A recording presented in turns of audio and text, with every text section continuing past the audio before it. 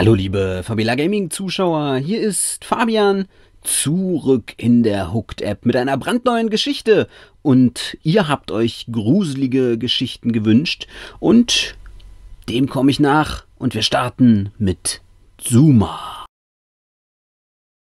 Die Nase des Babys blutet. Kneif ihr einfach in die Nase. Im Kinderbett ist Blut. Ihre Eltern werden durchdrehen. Nasenbluten ist normal, Schatz. Sie werden es verstehen. Nein, werden Sie nicht. Sie sind seltsam. Soll ich rüberkommen und helfen? Nein, ich komm schon damit zurecht. Aber du musst zugeben, die Kelps sind seltsam. Sie sind etwas ungewöhnlich, stimmt. Mrs. Kelp ist jedem gegenüber so misstrauisch. Sie wird mir die Schuld hierfür geben. Sie ist Wissenschaftlerin, das ist halt ihr Wesen. Dieses arme kleine Baby, das mit so einer Mutter aufwachsen muss. Immerhin hat es eine Mutter, stimmt's? Nicht so wie ich? Du darfst nicht so reden. Du bist nicht alleine. Ja, ich weiß. Andere Waisenkinder bekommen Haferschleim und Schläge. Ich kann bei meiner coolen Tante leben. Wie fühlt sich die Haut der Kleinen an? Sie fühlt es kalt an, wirklich kalt. Und sie flüstert ständig etwas richtig Unheimliches. Was flüstert sie? Zuma, Zuma. Was? Zuma. Sie wiederholt es immer wieder. Weißt du, was das bedeutet?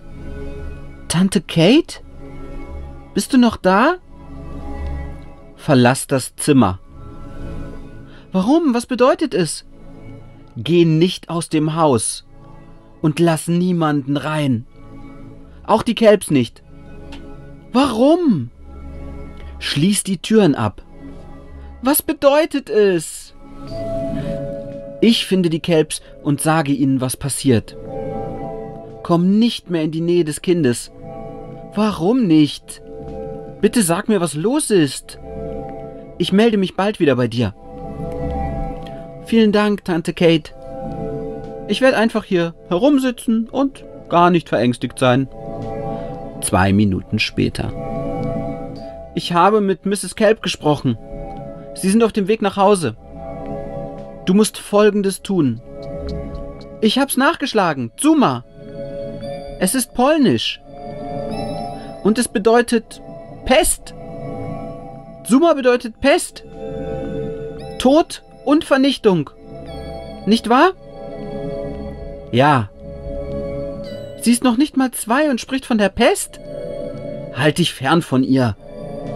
Ist das die Krankheit, die Mama und Papa getötet hat? Das ist jetzt nicht wichtig. Ich habe darüber gelesen. Es gibt Online-Informationen darüber. Über die Seuche, als ihr in Polen wart. Mach dir im Moment keine Gedanken darüber. Einige Leute sagen, es infiziert einen, öffnet einem aber auch richtig die Augen. So wie wenn du diese wirklich tiefen Einblicke in die Welt hast. Wo hast du all das gehört? Online. Verschwörungsforen? Das ist nur Geschwafel von einem Haufen Spinner, die im Keller vor dem Computer sitzen. Einige von ihnen klingen, als wüssten sie tatsächlich, wovon sie reden. Alle Spinner geben vor, dass sie wissen, wovon sie reden. Und was ist die Wahrheit? Bleib für den Augenblick, wo du bist und warte auf mich. Du gibst mir nie klare Antworten. Das ist jetzt nicht die Zeit, darüber zu reden. Im Moment musst du dich von dem Kind fernhalten. Und lass niemanden rein. Wenn du willst, dass ich auf dich höre, musst du mir sagen, was passiert. Behandle mich nicht wie ein Kind. Also gut, hör zu. Vielleicht ist es gar nichts aber möglicherweise hängt es mit dem zusammen, was wir da drüben gesehen haben. Die Pest? Wir konnten es nicht genau einordnen, aber es war gefährlich und hochgradig ansteckend. Werde ich sterben? Nein, ich kümmere mich um dich. Was ist mit Anna? Wir werden dafür sorgen, dass du in ordentliche Quarantäne kommst. Ich werde das rausfinden. Vorerst müssen wir diese Sache unter Kontrolle halten. Bleib von der Kleinen weg. Wie ist die Krankheit in sie geraten? Mrs. Kelp muss sie schlafend in sich getragen haben. Es gibt viel, das wir von Suma nie verstanden haben. Aber wir wissen, dass man, wenn man keine Symptome zeigt, dann ist man nicht ansteckend. Ich habe keine Symptome. Gut, das ist gut. Fürs Erste. Ist das das erste Mal, dass Anna eine blutende Nase und kalte Haut hat? Ja, bestimmt. Sie ist heute Abend völlig anders. Dann wollen wir hoffen, dass wir die Situation unter Kontrolle bringen können. Aber ich könnte sterben. Dir passiert nichts. Die besten Leute werden sich um dich kümmern. Und warum spricht Anna auf Polnisch? Sie war nie dort. Ihre Eltern sind keine Polen. Das ergibt keinen Sinn. Sie ist doch noch ein Baby. Man kann durch eine Krankheit keine Sprache lernen. Tante Kate? Ich bin ganz schnell bei dir, vielleicht zehn Minuten. Am wichtigsten, komm nicht in Annas Nähe. Warte, da ist jemand draußen auf dem Rasen. Lass ihn nicht rein. Draußen beim Zaun hinter den Bäumen.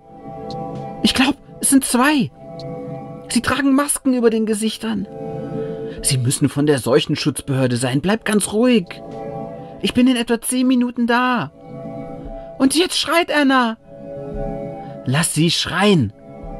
Gina, lass sie einfach schreien. Geh nicht in ihre Nähe. Sie erstickt. Es klingt, als könnte sie nicht atmen. Nein, sie weint nur. Woher weißt du das? Geh nicht da rein. Sie kann nicht atmen. Bleib weg von ihr! Jetzt schwitzt sie. Eiskalt und sie schwitzt. Du bist in dem Zimmer? Sofort raus da. Okay, sie beruhigt sich. Ihr steckte etwas im Hals. Gina, begreifst du, dass sie etwas sehr Ernstes hat?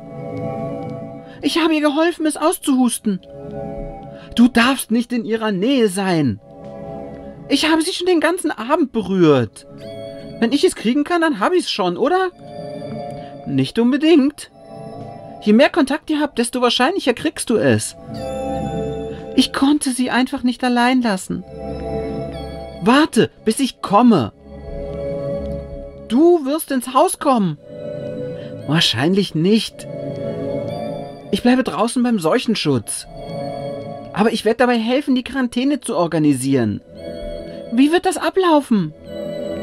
In ein paar Stunden sind Leute aus Atlanta da.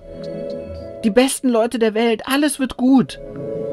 So sind Mama und Papa gestorben. Nicht wahr? Das ist kompliziert. Ich erkläre es, wenn ich da bin.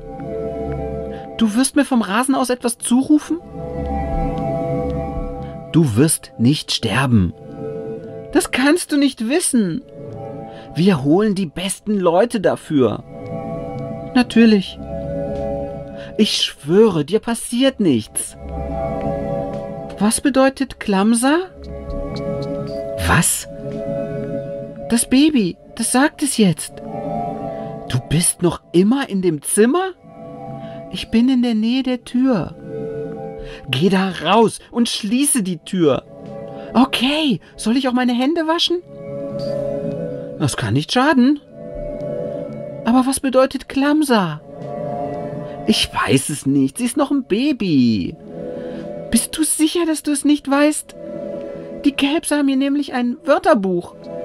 Vergiss nicht, ich habe Suma nachgeschlagen. Klamser nachzuschlagen wäre für mich nicht schwer. Das ist nichts, worum du dir jetzt Gedanken machen musst. Sie hat es wieder gesagt. Und ich weiß, was es heißt. Es heißt Lügner. Sie ist ein krankes Baby. Kümmere dich nicht darum, was sie sagt. Sie warnt mich vor der Pest. Sie warnt mich vor Lügnern. Ich belüge dich nicht. Du sagst mir nicht die ganze Wahrheit? Gina, du bist alles, das ich auf der Welt habe. Ich würde nie etwas tun, das dir schadet. Du hast mich schon mal belogen? Früher. Du hast eine Woche gebraucht, um mir zu sagen, dass Mama und Papa tot waren? Ich werde alles erklären, was ich kann. Versprich mir, dass du dich bis dahin von ihr fernhältst. Warte, ich rieche etwas. Das war der erste Teil von Zuma. Es ist eine dreiteilige Geschichte und wie es weitergeht, erfahrt ihr in der nächsten Folge.